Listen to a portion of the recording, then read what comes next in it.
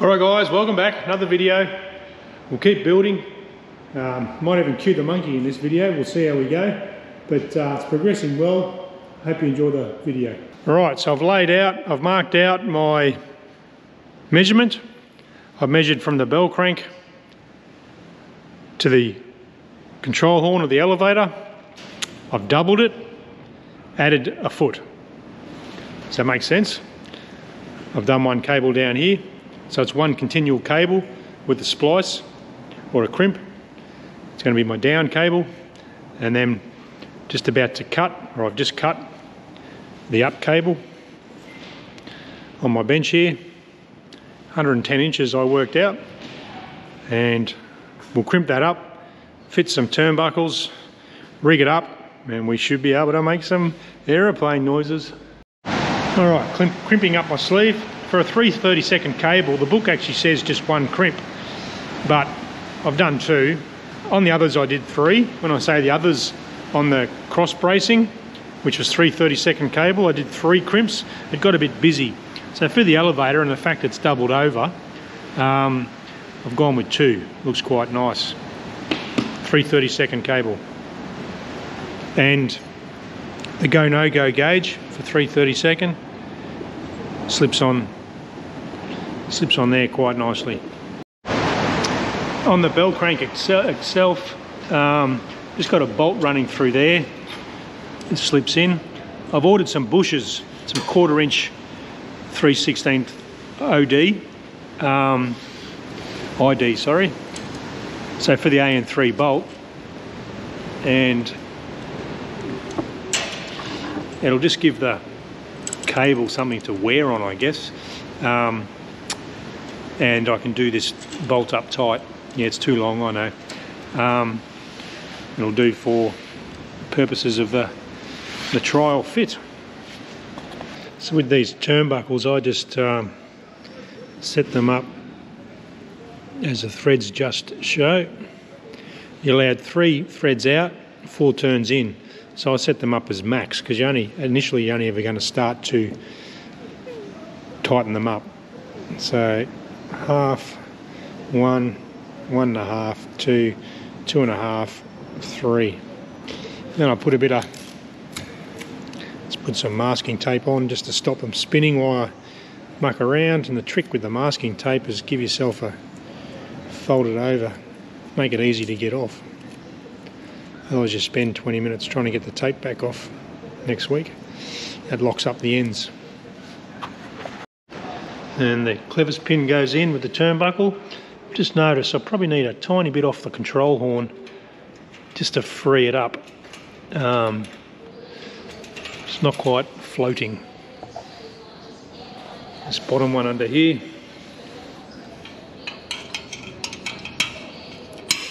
Clevis pin, that's better. Get full, full movement, nothing's going to bind. So I'll give this top one a bit of a a little bit of a sand. Right, I've run the, um, run the cables initially. Now I'm just thinking about some fair leads. So I'm thinking of doing that. Put a tube through the Teflon. If the tube wears out, it's not a big thing. Still going to hit the Teflon. And these little dummies, pacifiers, uh, diaphragms, they will sort of go I'll put this, before I crimp the end, I'll put this on the cable, slide them on, then worry about either Adel clamps or you know, one Adel clamp. It can slip down over time. Uh, in here, for argument's sake, two Adel clamps over this tapered one, nothing can move. That's what I'm thinking. Not sure about this one. Yeah, it might just be a case of a Adel clamp and then a lock wire up to the top. Just thinking out loud, that might work just to stop it dropping down. Not much inverted flight going on. Um, one over here, one down there, just where they come close, like here. Don't want that rubbing, so I'll just put a fair lead in there. We'll see how that turns out.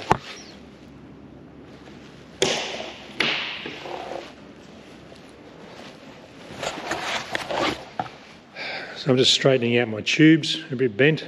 whack them on a long Allen key, and then I'll hit it with the um, hit it with the heat gun just to straighten them out a bit. Alrighty, boys, we've got an elevator. Now look at this on the stick. All right, cue the monkey.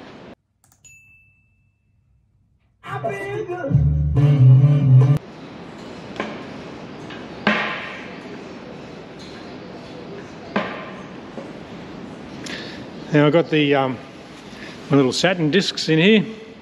Just got to work out now how I'm going to secure those to the uh, to the frame. I don't want to drill holes in my fuselage.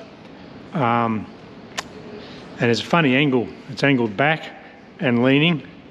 So it's not just straight off these. I was thinking of Adel clamps. But yeah, just happy at the moment that that's um, going really well. All right, beautiful day, just been out for a fly. Took the cruiser out, gave her a polish, got the dust off, got some uh, Sopwith Camel uh, droppings all over her. So she's happy. Did a few, a few simulated Sopwith Camel landings with the nose wheel. All right, where we at? The lighting's probably bad, but it's a beautiful day here in Latrobe Valley. So, bolted them on, I use these hose clamps I found. I was looking for Adel clamps, but they're like hose metal hose clamps. Works really well because you can. You, there's a couple of angles going on here. They're tapered in towards in towards the centre of the fuselage. When I say they, I mean the um, my chopping board here, which is the, the, Teflon stuff. It literally is a chopping board I cut up. Um, so they're tapered that way. They're also leaning downhill. So I mucked around for a while with spacers. Then I found I just um, had some leftover Dubro, those familiar with RC models, Dubro 3mm nuts and bolts. Um, well, sorry, the bolt was the bolt was already through the clamp.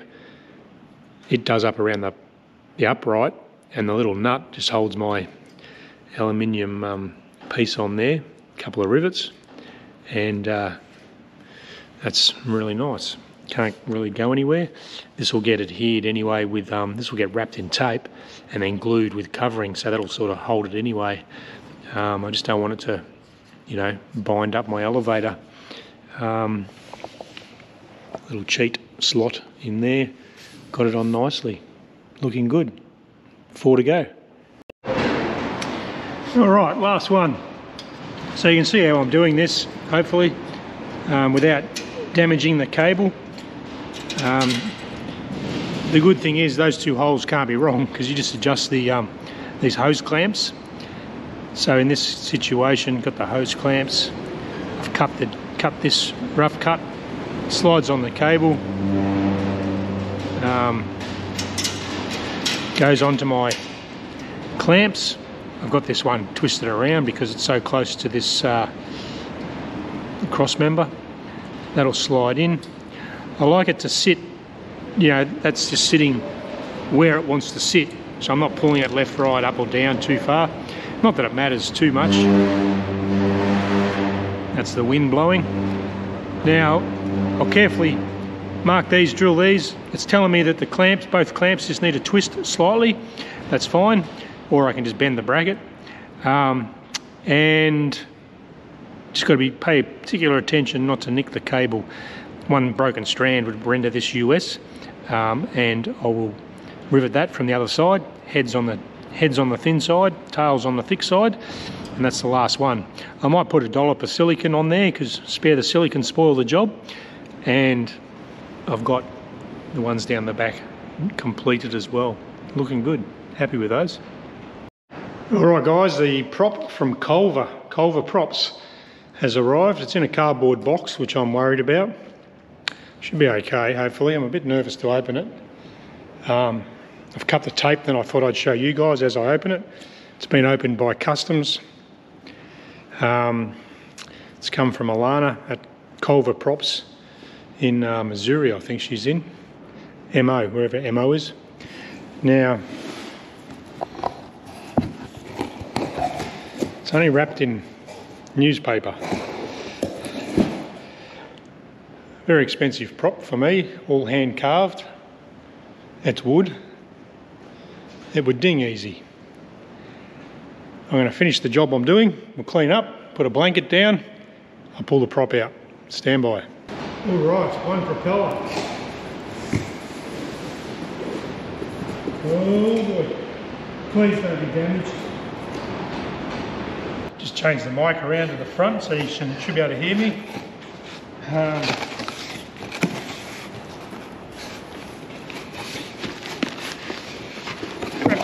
newspaper.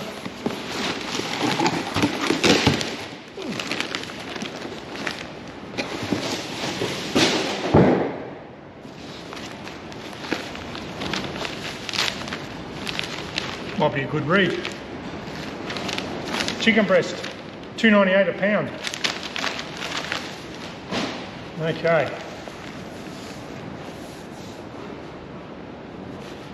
There's a rub mark.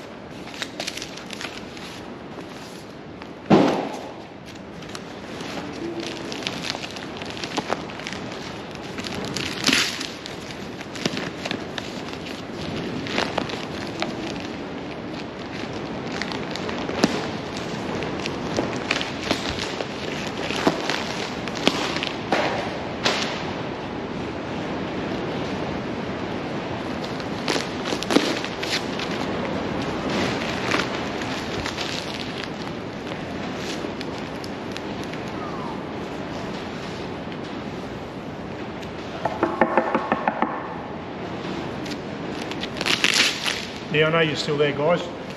Just uh, getting excited.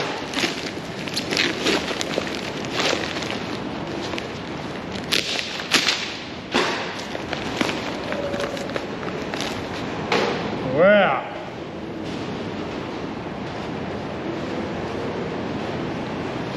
Trailing edge is good.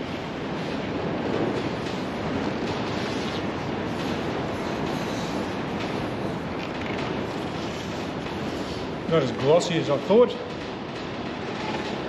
All drilled out nicely. Colours look fantastic. 80 by 47. I'll give you a closer look. Fantastic.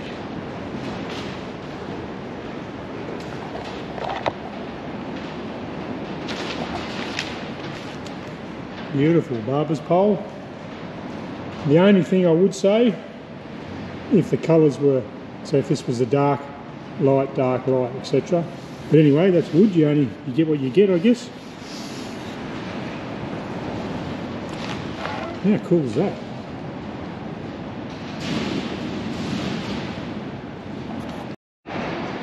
So, if you're going to do this, guys, um, especially in Australia, just be aware the GST man, the import man, the FedEx guy, the local delivery truck, all want a piece of the pie. So it's a costly exercise. But I'm really happy with that. I'm glad it made the journey. Thank you, Alana at Culver Props. It's got the nice sticker on there. Both sides. I guess that's under the lacquer. Um, she did say it warped at one stage, but um, I think Americans' idea of warping is a blemish in the in the finish. But how cool! How cool is that going to look? 80 inches. Beautiful.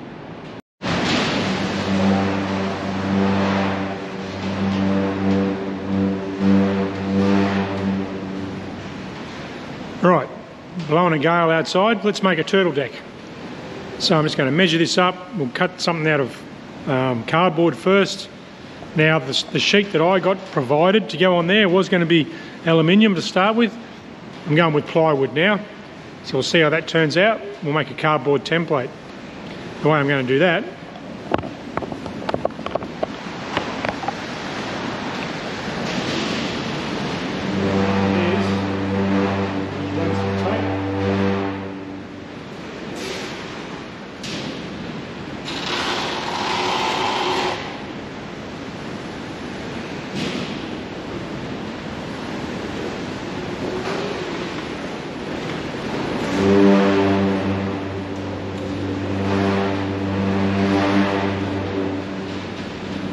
that's our length.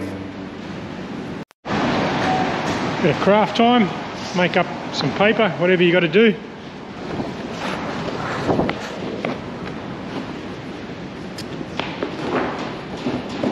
And that's where we're going with this. Now just mark where I want to cut the edges. This will be my template for the plywood. I guess uh, do we need an overhang? We need something to sew the, the coaming to. Might go with an inch maybe. An inch of overhang. Hmm. Anyway, that's my template. We'll work on that. We'll mark it all out, cut it out, um, see how we go. So I've lashed out. People often ask the cost of stuff. Pencil sharpener, 99 cents. So let's not overthink this. I've got some tape, half inch, or something like that. That gives me the distance. My scallops are going to be this roll of masking tape. That's my diameter, which will give me a nice landing. I'll just work out where they're going to come back to and cut it out and see how it looks. So just working on the seat, the base. There's some rough guides in here, but no real dimension, um, radius, etc. So I got out my wheels, sort of made the flat, the big radius at the back, tightened it up, and then it straightened up. That's 19 inches wide, 11 inches deep.